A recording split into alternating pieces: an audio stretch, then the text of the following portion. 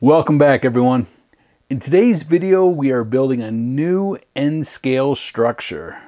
It is called Smith's Lock and Key.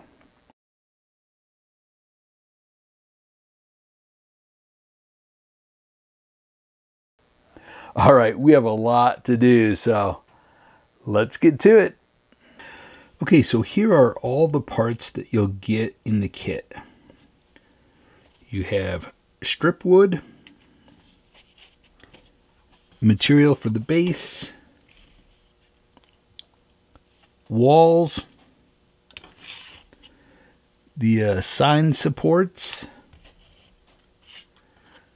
the roof cards, and details, mostly doors and windows. The first thing we're going to do is cut out all four of these shapes and then we'll glue them on top of each other following the numbers that are engraved on them. Okay, so we'll start with number one. Put number two on top of it. Number three on top of that. And finally, number four. So this is what it should look like. So we'll glue from the bottom. So take piece number two turn it upside down, and we'll take a brush and smooth it out. Make sure that the glue goes all the way to the edge.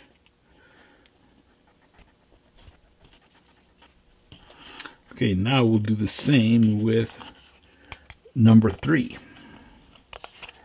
turn it upside down.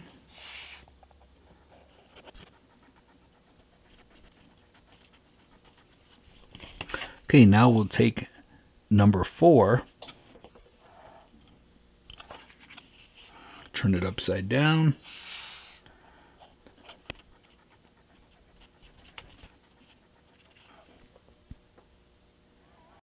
Now I'm going to take a file and gently file the sides. Very light. Don't press too hard because this is a paper material. Okay, the next thing we're going to do is spray a gray primer on this. And we're also going to spray a gray primer on all of these pieces. And I recommend doing spraying both sides of all of these. Okay, I've sprayed a gray primer on all of the pieces, and this is what I used. And again, I did both sides of everything. Now, don't try to cover it all at once. What I did was I sprayed, did a light spraying over the pieces. Then I flipped them over did a light spraying, then flipped them back over again and did a final spray and then flipped them over again and did a final spray on the backside. So uh, very important not to try to cover it all at once uh, with the gray primer because the paint gets too thick and you'll cover up all of the uh, little detail. I also wanted to mention that I even put a gray primer on the strip wood that's provided in the kit.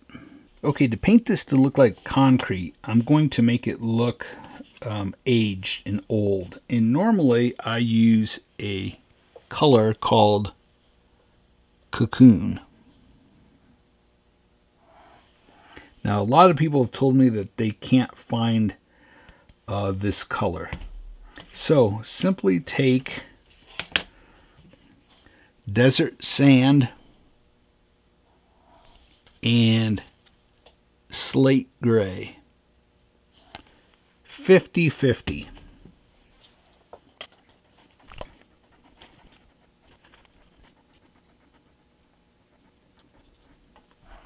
Notice I'm brushing down, not this direction, but this direction.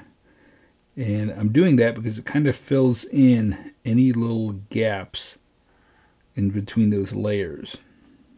I added a little bit more of the tan color and did a light coat over the top. Now notice I didn't color or paint the entire top um, because the structure sits right there. Okay, let's set this to the side and let's take the sheet with the doors and windows. So we're going to use um, two colors on this. White and a bluish green. It's called Thicket. So I'm going to take a sponge and sponge over this sheet. But the sign that says Smith's Lock and Key that gets white. So we may want to either cut that section out or put a piece of tape over it um, so that we don't get our thicket color on it. And I think what I'll do is I'll cut that out quick. Be very careful not to cut any of the other pieces. Okay, so it's just the lettering. And we'll set that to the side and there was a little piece under it that is the uh, railing for the front make sure that that gets painted. So now let's take a sponge in this color and go over all these parts. You'll want to do the back side of these lower pieces that are the railings.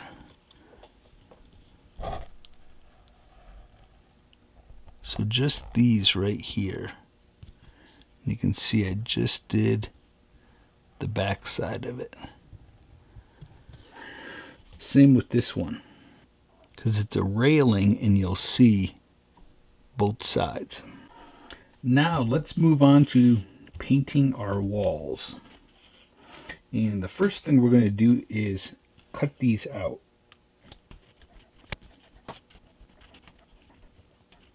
actually, before we start cutting all these out, I should have waited, but um, we're going to do a very light coat of iced coffee.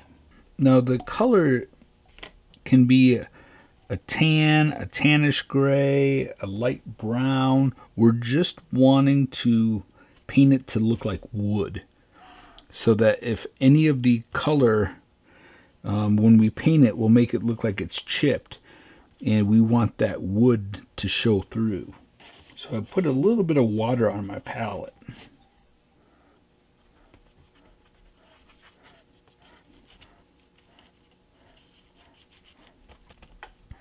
And you can see it doesn't have to be solid. Take your time when cutting these out. They are very fragile you have some very thin pieces that can easily snap off. So take your time. Best to use a very sharp brand new blade. Okay, actually the probably the easiest thing to do for this is to take some tape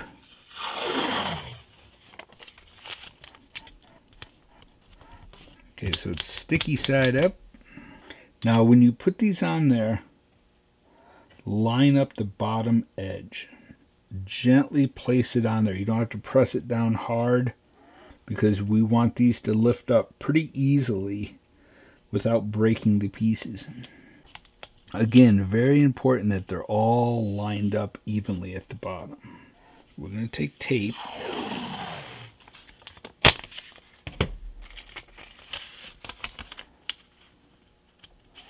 and we'll go from the top of this little piece to the top of this little piece. Okay, now we'll take our thicket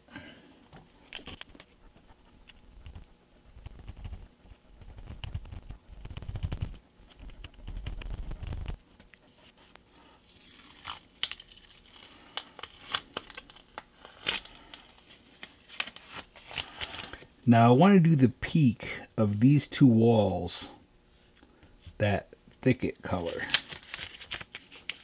So we'll just go straight across.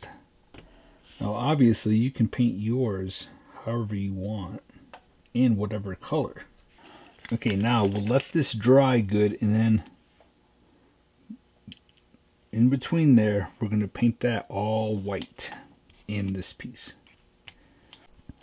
Now we don't want to forget to paint our trim. That's the same color thicket.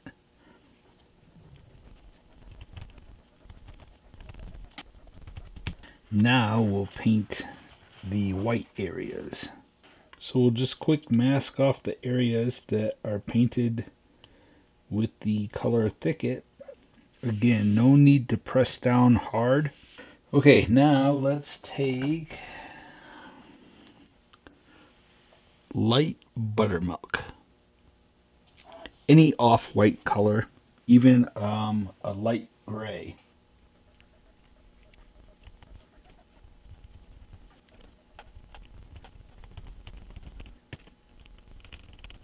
Again, be very careful when taking these pieces off of the tape so that you don't snap any pieces off.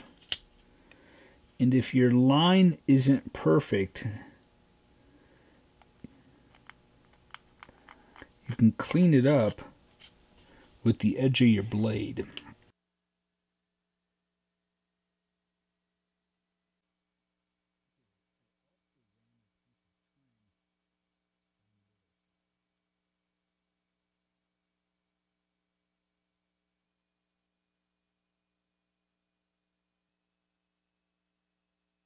Okay, I'm gluing on all of the window frames. So I just simply put some glue on my palette and then take a thin brush and sort of paint that glue on the back side of the window frames.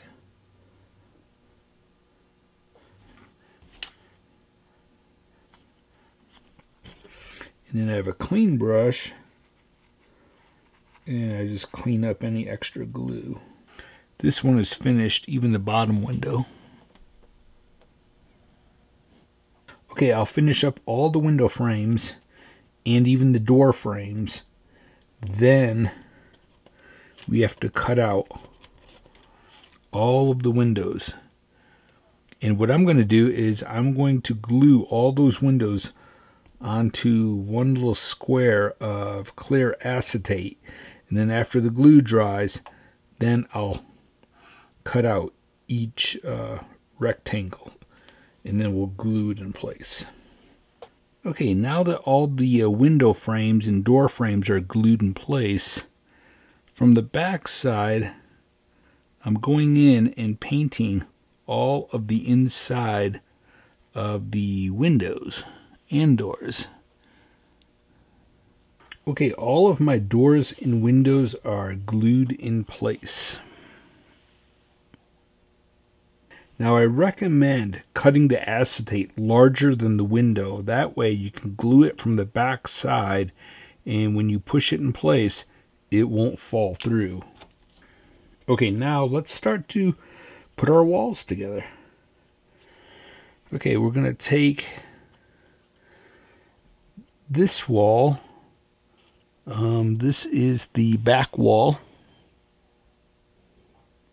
And you can see it has a slant in that corner.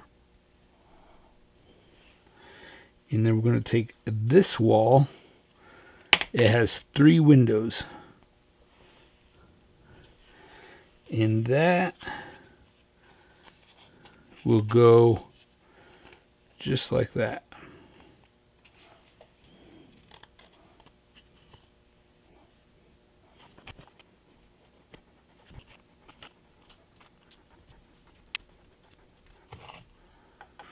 Okay, next I've glued the front wall on. So everything is nice and square because I used this and also the lines on my mat. Now let's take this wall here And we'll glue this little wall on there. And I'll show you there's another one that matches it. And we're going to put that right here. I'll show you once I get it glued on there.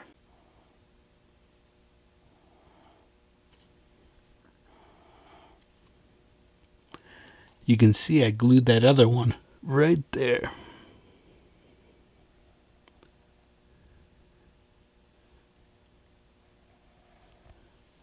It's really, it's not necessary, but it helps with the tiny roof card that fits on there. It adds support to this side. Now we're going to glue this one in place right there. So notice we left room for that white piece. Okay, let me glue that quick. Okay, next we're going to glue this side wall on. This one's, you just have to be careful with it. I'll show you what it looks like. So it gets glued right to the edge of the front wall. But you'll see the back wall, there's an overhang. But you want to put it right to the top before it slants down.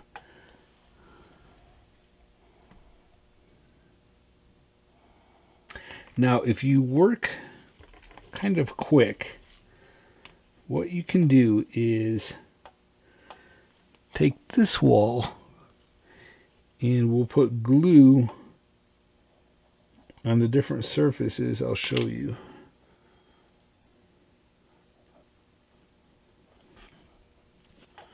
Now we'll put glue on the back side of this wall. And on this front right here.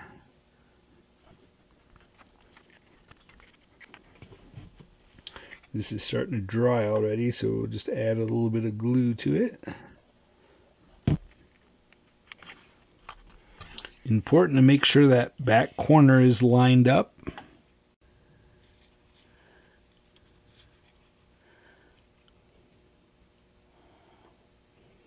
Okay, now we'll just glue this one. Again, make sure that it's the right side up. Check your clapboard siding and make sure that it's not upside down. And that's going to get glued right on the front. And then that sits on there just like that. Let me zoom in on that. Okay, let's go ahead and glue this onto the base.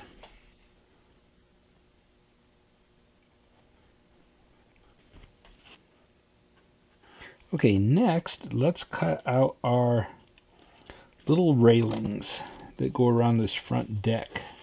And they are down here and a little piece over here. And this one. This one gets glued on first. I'll show you. Okay, so glue this one in place first, and then when you glue this one on it, put it right up against it.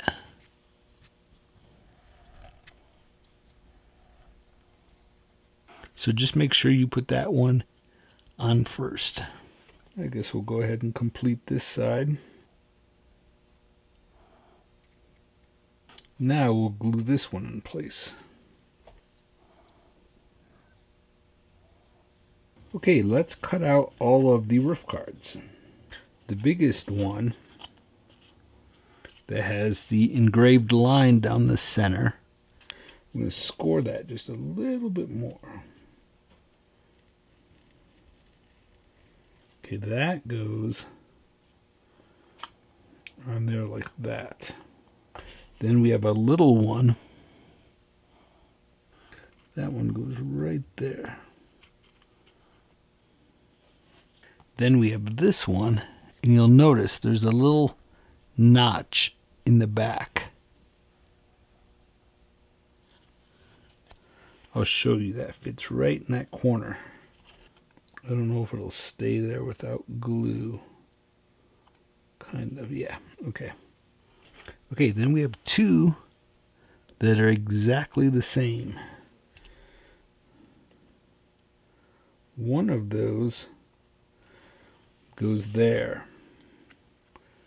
And the other one goes in the front. Now the front one, we're going to build that right now. We're going to cut out this rectangle. And the last two pieces in this sheet are these little triangles. We're going to cut those out. Okay, I sponged on some of the thicket color on one side, and the other side is completely the gray primer. We want the gray primer facing up. Then we're going to take these triangles and glue them on the ends. I'll glue them and then show it to you. We're gluing these on top of the rectangle. Hopefully you can see that.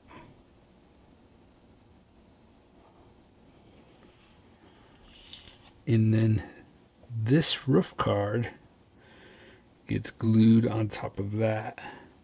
But we want to do it, it's going to be easiest because there's an overhang on both sides. So we're going to want to lay this down flat and put our glue on the triangle pieces.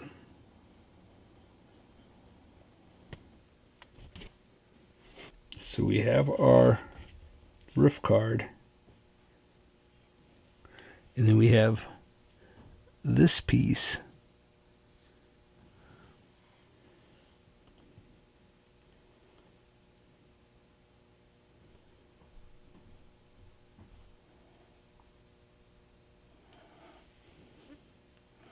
So it'll get flipped upside down just like that. And that, hopefully I'm on camera, that gets glued to the front right there.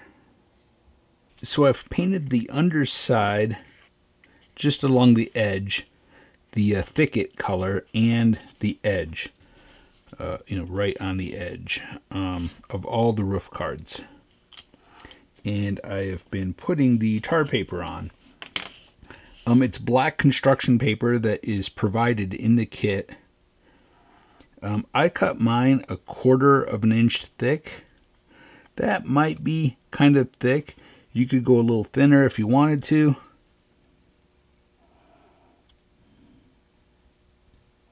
And on those sides, I'm going to do it on the front.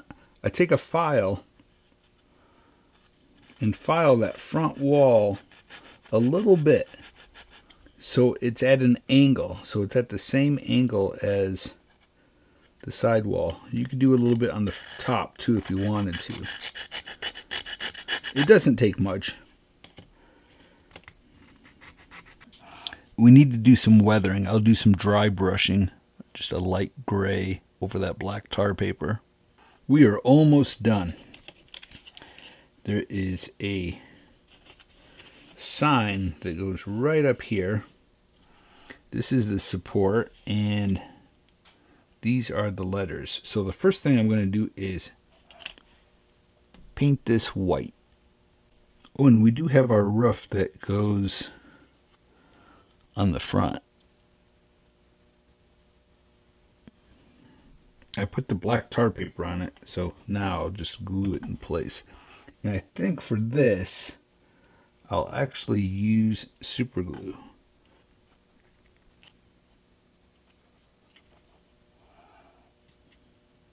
There is a back door and there's a set of stairs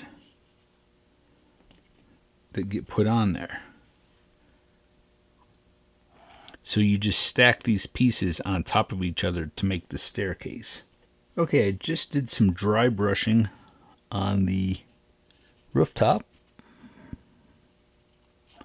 I first started with neutral gray. Then I went over it with slate gray. And with the slate gray, I went more towards just the edges and I went across the peak.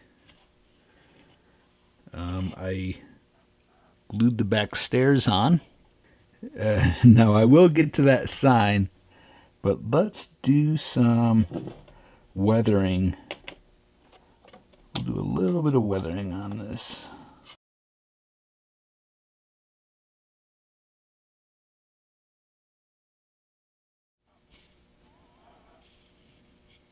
Now we'll take black, again, very little. I may even grab a smaller brush.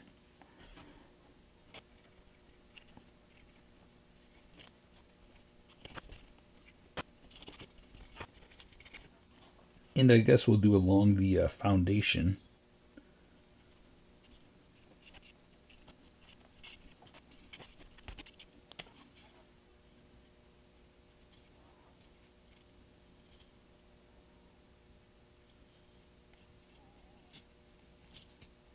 Okay, just added a little bit more dirt here and there, like in corners. Okay, on our sign supports, right now it's just a uh, gray primer on both sides. I am taking bittersweet chocolate, any dark brown, we're just going to add a little bit of rust to it. Just a little bit here and there. You can go heavier towards the top if you want to and we'll do both sides. Then we'll paint our letters white. And we'll use light buttermilk. Okay now we'll cut out the parts for the assigned support. Now there's three triangle pieces. And they get glued on the back of this and make sure that the point is level with the top. Okay, the support is glued together and I wanted to point out that there's long pieces and you see where those get glued?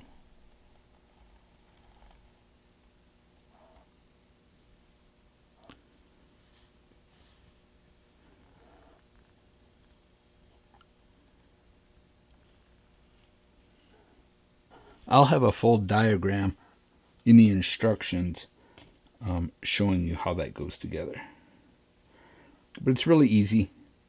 Just make sure those long pieces are glued to the front. Okay, now we'll carefully cut out our letters. Take your time. The letters are thin, so they're kind of fragile. Uh, I'll zoom in so that you can see.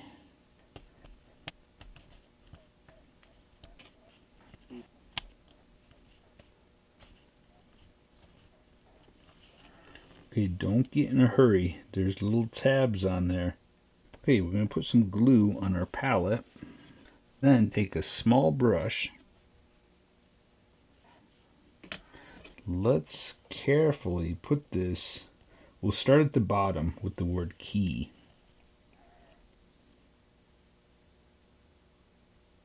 I just set it, I held it up there just so I sort of knew where the glue, where to put the glue. Hopefully you can see that. I put it on the two bottom rows.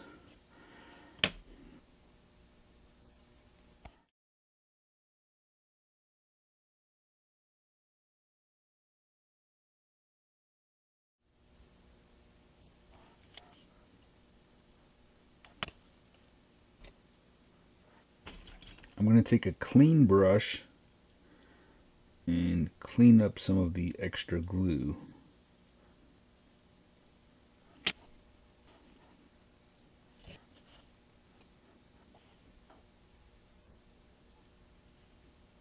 Now we'll simply glue that to the roof. I'm going to use some super glue.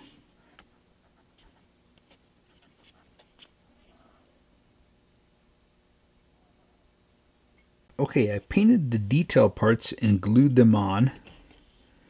So there is a smokestack that goes on the roof. Then you have a vent that goes on the side of the building.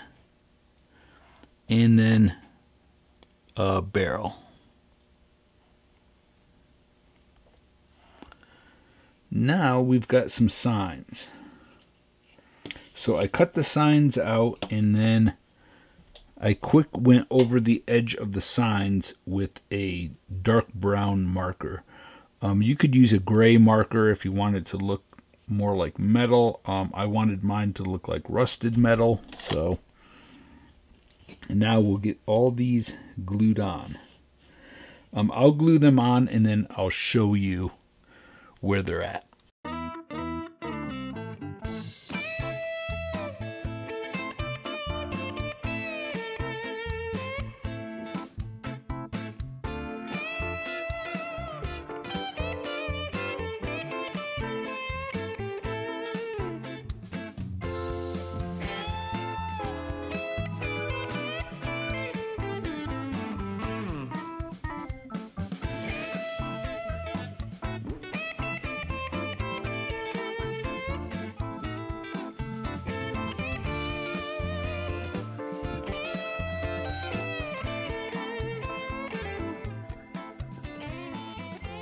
I hope you enjoyed today's build. Now, if you are a Patreon member, you receive a discount on this kit. And the discount code can be found on my Patreon page at patreon.com forward slash Jason Jensen Trains. And I'll put it right here on the screen for you. All right, well, like always, a huge thank you to all of my Patreon members. You guys are incredible. Uh, I just appreciate you so much. All right, well, thank you all so much for watching. And until next time, stay motivated and happy modeling, everyone.